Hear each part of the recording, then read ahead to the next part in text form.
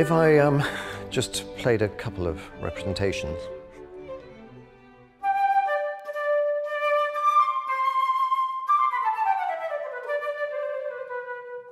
I think it's really interesting to kind of just that thing of how to pitch it, um, how, how to project the idea you want from it. That brings um, us to the second subject.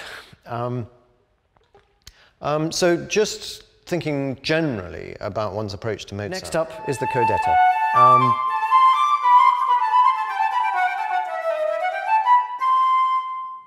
and that always just amuses me because this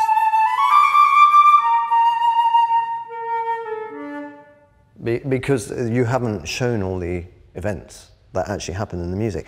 So E minor, I'm using a much more minore kind of sound. But with that in mind, I think a lot of people are winding down at this point musically. And I think with two high oboes coming in, you just can't afford to too much.